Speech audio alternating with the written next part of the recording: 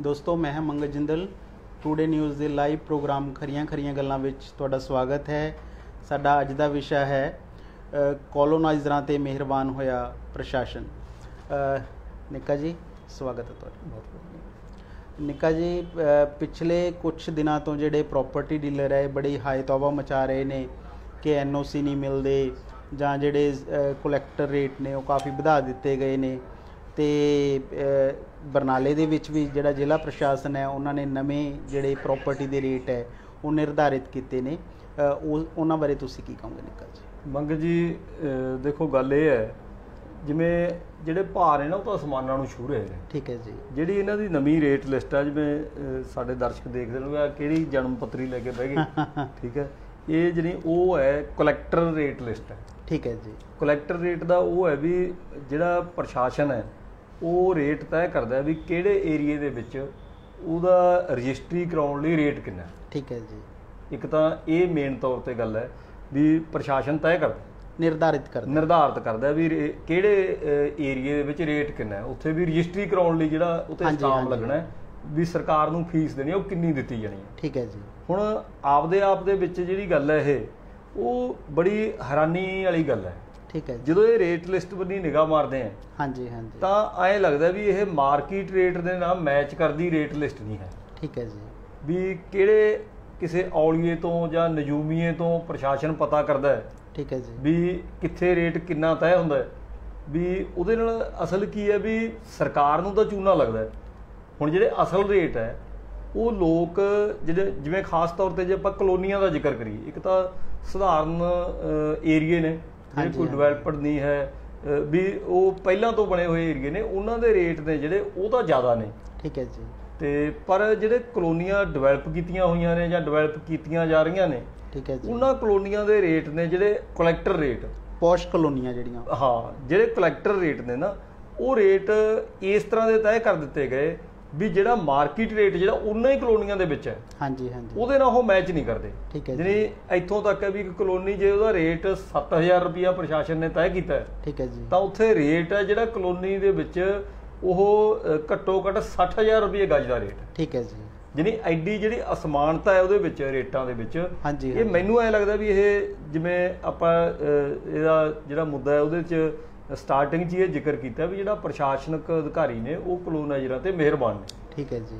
ਹੁਣ ਇਹ ਜਿਹੜਾ ਕ੍ਰਾਈਟੇਰੀਆ ਅਪਣਾਉਂਦੇ ਨੇ ਉਹ ਜੋ ਮਤਲਬ ਸੁਣਨ ਦੇ ਵਿੱਚ ਗੱਲ ਆਉਂਦੀ ਹੈ ਆਲੇ ਦੁਆਲੇ ਜਿਹੜੀਆਂ ਕਨਸੂਆਂ ਕਿਤੋਂ ਮਾੜੀਆਂ ਮੋਟੀਆਂ ਮਿਲਦੀਆਂ ਨੇ ਉਹ ਤੇ ਪਤਾ ਲੱਗਦਾ ਵੀ ਇਹ ਕਲੋਨਾਈਜ਼ਰਾਂ ਨੂੰ ਤੇ ਪ੍ਰਾਪਰਟੀ ਡੀਲਰਾਂ ਨੂੰ ਬੁਲਾ ਲੈਂਦੇ ਨੇ। ਠੀਕ ਹੈ ਜੀ। ਹੁਣ ਬੁਲਾਉਂਦੇ ਤਾਂ ਇਹ ਕਹਿ ਕੇ ਵੀ ਆਪਾਂ ਉਹਨਾਂ ਦੀ ਰਾਏ ਲੈਣੀ ਹੈ। ਠੀਕ ਹੈ ਜੀ। ਹੁਣ ਜਦੋਂ ਉਹੀ ਲੋਕ ਉਹਨਾਂ ਕੋਲੇ ਰਾਏ ਦੇਣ ਵਾਲੇ ਨੇ ਤੇ ਅਸਲ ਦੇ ਵਿੱਚ ਮੈਨੂੰ ਲੱਗਦਾ ਵੀ ਇਹ ਰੇਟ ਕਲੈਕਟਰ ਰੇਟ ਤੈਅ ਕਰਨ ਤੋਂ ਪਹਿਲਾਂ ਜਿਹੜਾ ਪ੍ਰਸ਼ਾਸਨਿਕ ਅਧਿਕਾਰੀ ਹੈ ਉਹਨਾਂ ਨਾਲ ਸੌਦਾ ਕਰਦੇ ਨੇ ਠੀਕ ਹੈ ਜੀ। ਸੌਦਾ ਗੱਲ ਤਾਂ ਠੀਕ ਨਹੀਂ ਲੱਗਦੀ ਸ਼ਬਦ ਨਹੀਂ ਠੀਕ ਲੱਗਦਾ ਪਰ। ਸੱਚ ਇਹੀ ਹੈ ਨਹੀਂ ਹੁਣ ਪ੍ਰਸ਼ਾਸਨਿਕ ਅਧਿਕਾਰੀਆਂ ਦੇ ਕੋਈ ਅੱਖਾਂ ਤੇ ਪੱਟੀ ਥੋੜੀ ਬਣੀ ਹੋਈ ਹੈ। ਠੀਕ ਹੈ ਜੀ। ਉਹ ਘੱਟੋ ਘੱਟ ਉਹਨਾਂ ਏਰੀਆ ਦੇ ਵਿੱਚ ਜੇ ਉਹ ਦੇਖਣ ਵੀ ਰੇਟ ਕੀ ਨੇ ਉਹਦਾ ਘੱਟੋ ਘੱਟ ਮੈਂ ਕਹਿੰਦਾ ਕਿਸੇ ਪ੍ਰਾਪਰਟੀ ਡੀਲਰ ਨੂੰ ਜੇ ਇੱਕ ਨੂੰ ਵੀ ਫੋਨ ਕਰ ਲੈਣ। ਹਾਂਜੀ ਹਾਂਜੀ। ਵੀ ਉਹਨੂੰ ਪੁੱਛਣ ਵੀ ਆ ਫਲਾਨੀ ਕਲੋਨੀ 'ਚ ਕੀ ਰੇਟ ਹੈ ਗਾਹਕ ਬਣ ਕੇ ਉਹਨੂੰ ਫੋਨ ਕਰਨ।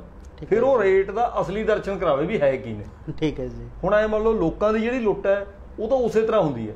ਕਲੈਕਟਰ ਰੇਟ ਦੇ ਅਨੁਸਾਰ ਕੋਈ ਰਜਿਸਟਰੀਆਂ ਤਾਂ ਸਰਕਾਰ ਨੂੰ ਪੈਸੇ ਦੇਣ ਲਈ ਕਲੈਕਟਰ ਰੇਟ ਹੈ। ਹਾਂਜੀ ਹਾਂਜੀ। ਉਹਦੇ ਲਈ ਤਾਂ ਉਹ ਤੈਅ ਕਰ ਦਿੰਦੇ ਨੇ। ਠੀਕ ਹੈ ਤੇ ਜੀ ਲੋਕਾਂ ਨੂੰ ਤਾਂ ਕੋਈ ਰਾਹਤ ਨਹੀਂ ਮਿਲਦੀ। ਬਿਲਕੁਲ ਜਿਹੜੇ ਲੋਕ ਹੈ ਉਹਨਾਂ ਦੀ ਤਾਂ ਲੁੱਟ ਉਸੇ ਤਰ੍ਹਾਂ ਹੁੰਦੀ ਨਾ ਜਿਵੇਂ ਸਸਤੇ ਭਾਅ ਤੇ ਜ਼ਮੀਨਾਂ ਖਰੀਦੀਆਂ ਹੁੰਦੀਆਂ ਨੇ। ਤੇ ਉਹਦੇ ਚੋਂ ਮਤਲਬ ਕਈ ਕਈ ਗੁਣਾ ਕੋਈ 10 20 50 ਗੁਣਾ ਨਹੀਂ 2 200 ਗੁਣਾ ਘੱਟੋ ਘੱਟ ਰੇਟ ਹੈ ਜਿਹੜਾ ਉੱਥੇ ਵਸੂਲਿਆ ਜਾਂਦਾ ਹੈ। ਠੀਕ ਹੈ ਜੀ। ਬਹੁਤੀਆਂ ਥਾਵਾਂ ਤੇ ਹਾਲਤਾਂ ਇਹ ਬਣ ਜਾਂਦੀਆਂ ਨੇ ਵੀ ਕਲੋਨੀ ਅਜੇ ਕਾਗਜ਼ਾਂ 'ਚ ਹੀ ਹੁੰਦੀ ਹੈ ਠੀਕ ਹੈ ਜੀ ਤੇ ਪਹਿਲਾਂ ਵਿਕ ਵੀ ਜਾਂਦੀ ਹੈ ਠੀਕ ਹੈ ਜਿਹੜੀ ਇੱਥੇ ਬਹੁਤ ਚਰਚਿਤ ਕਾਫੀ ਸਮਾਂ ਪਹਿਲਾਂ ਰਹੀ ਹੈ ਹਾਂਜੀ ਤੇ ਹਾਂਜੀ ਹੁਣ ਵੀ ਮਤਲਬ ਮੀਡੀਆ ਦੀਆਂ ਸੁਰਖੀਆਂ ਬਣ ਰਹੀਆਂ ਨੇ ਜਿਹੜੀਆਂ ਕਲੋਨੀਆਂ ਨੇ ਜਿੱਥੇ। ਸਾਰੇ ਨਿਯਮ ਕਾਨੂੰਨ ਆ ਜਿਹੜੇ ਉਹਨਾਂ ਨੂੰ ਛਿੱਕੇ ਟੰਗ ਦਿੱਤਾ ਜਾਂਦਾ। ਠੀਕ ਹੈ ਜੀ ਤੇ ਮੈਨੂੰ ਐ ਲੱਗਦਾ ਵੀ ਜਿਹੜਾ ਪ੍ਰਸ਼ਾਸਨਿਕ ਅਧਿਕਾਰੀ ਹੈ ਨਾ ਇਹ ਇਕੱਲੇ ਕਨੋਲ ਜਿਹੜੇ ਕਲੋਨਾਈਜ਼ਰ ਨੇ ਉਹ ਬਹਿੰਦੀ ਗੰਗਾ 'ਚ ਹੱਥ ਨਹੀਂ ਧੋਂਦੇ। ਠੀਕ ਹੈ ਜਿਹੜੀ ਲੋਕਾਂ ਦੀ ਲੁੱਟ ਤਾਂ ਉਸੇ ਤਰ੍ਹਾਂ ਬਰਕਰਾਰ ਰਹਿੰਦੀ ਹੈ। ਤੇ ਪਰ ਜਿਹੜਾ ਇਹਨਾਂ ਦੇ ਅਫਸਰਾਂ ਦੇ ਜਿਹੜੀਆਂ ਜੇਬਾਂ ਭਰਦੀਆਂ ਨੇ ਤੇ। ਕਲੋਨਾਈਜ਼ਰ ਜਿਹੜਾ ਮੋਟਾ ਮੁਨਾਫਾ ਕਮਾਉਂਦੇ ਨੇ ਹਾਂਜੀ ਹਾਂਜੀ। ਉਹ ਮਤਲਬ ਮੈਨੂੰ ਲੱਗਦਾ ਵੀ ਕਾਫੀ ਚਿੰਤਾ ਦਾ ਵਿਸ਼ਾ ਹੈ।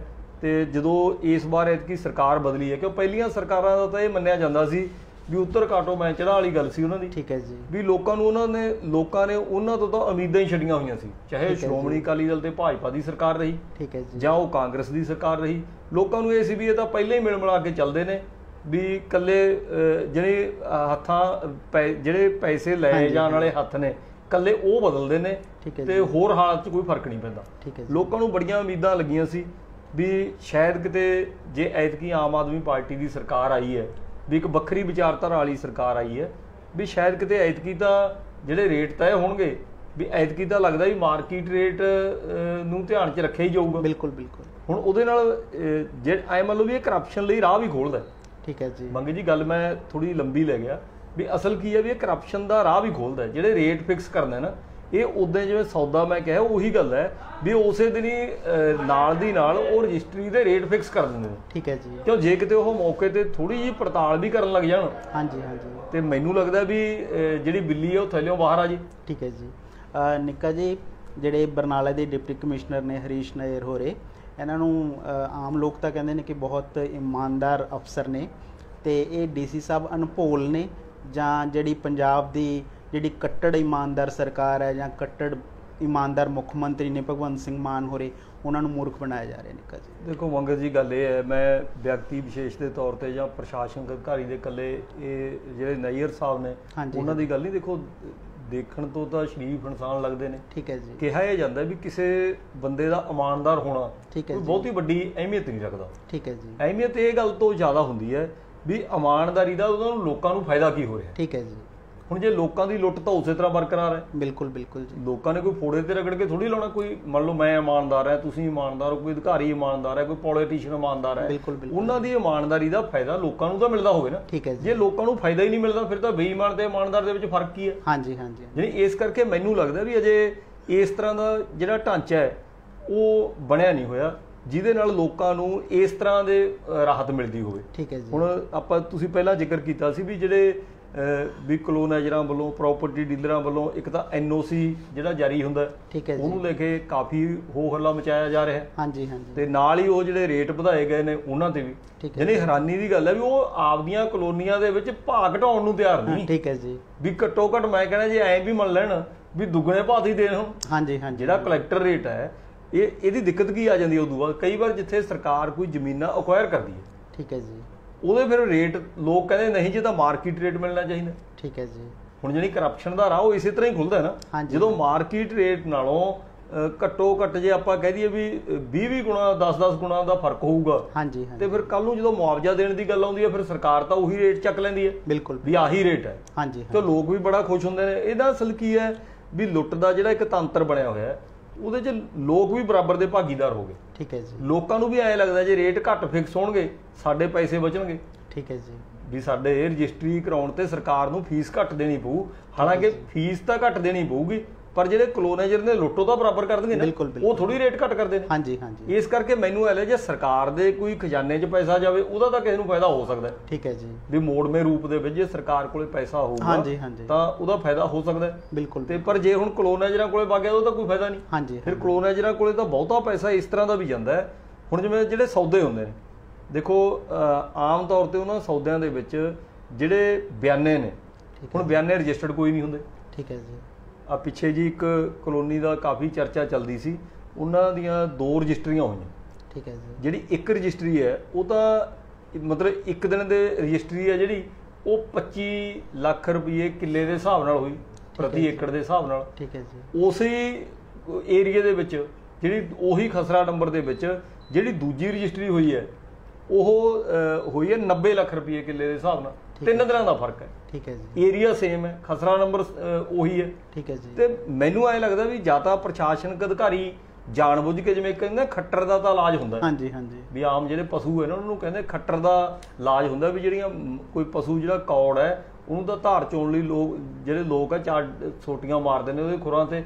ਤੇ ਉਹ ਖੜ ਜਾਂਦਾ ਹੈ। ਠੀਕ ਹੈ ਤੇ ਜਿਹੜਾ ਮਟਰ ਹੋਵੇ ਮਟਰ ਕਹਿੰਦੇ ਨੇ ਉਹਨੂੰ ਵੀ ਉਹਦੇ ਅਸਰ ਹੀ ਕੋਈ ਨਾ ਹੋਵੇ। ਠੀਕ ਹੈ ਜੀ। ਯਾਨੀ ਜਾਂ ਤਾਂ ਮੈਨੂੰ ਐ ਲੱਗਦਾ ਵੀ ਉਹ ਇਸ ਤਰ੍ਹਾਂ ਵੀ ਖੱਟਰ ਦੀ ਬਜਾਏ ਮਟਰ ਬਣੇ ਹੋਏ ਨੇ ਪਤਾ ਸਾਰਾ ਕੁਝ ਹੈ। ਠੀਕ ਇਹ ਨਹੀਂ ਵੀ ਆਪਾਂ ਕੋਈ ਬਹੁਤ ਵੱਡੀ ਖੋਜ ਖਬਰ ਕੱਢ ਕੇ ਲਿਆਏ ਆਪਾਂ ਨੂੰ ਪਤਾ ਹੈ। ਠੀਕ ਹੈ। ਇਹਦਾ ਜੇ ਕੋਈ ਇੱਕ ਵੀ ਅਧਿਕਾਰੀ ਇਹ ਸੋਚ ਲੈਣਾ ਵੀ ਉਹ ਗਾਹਕ ਬਣ ਕੇ ਕਿਸੇ ਨੂੰ ਫੋਨ ਕਰਨੇ ਸ਼ੁਰੂ ਕਰ ਦੇ। ਹਾਂਜੀ ਹਾਂਜੀ। ਵੀ ਪੁੱਛਣ ਲੱਗ ਜੇ ਫਲਾਨੀ ਕਲੋਨੀ 'ਚ ਰੇਟ ਕੀ ਹੈ। ਉਹਨਾਂ ਨੂੰ ਸਾਰੀ ਜਿਹੜੀ ਸਚਾਈ ਹੈ ਉਹ ਚਿੱਟੇ ਦਿਨ ਵਾਂਗੂ ਸਾਫ਼ ਹੋ ਜੂ ਅਸਲ ਕੀ ਹੈ ਫਿਰ ਉਹ ਕੱਲੀ ਸਚਾਈ ਤਾਂ ਸਾਹਮਣੇ ਆ ਹੈ ਪਰ। ਜਿਹੜੀਆਂ ਜੇਬਾਂ ਭਰਦੀਆਂ ਨੇ ਉਹ ਬੰਦ ਹੋ ਜਾਣਗੀਆਂ। ਠੀਕ ਹੈ ਜੀ।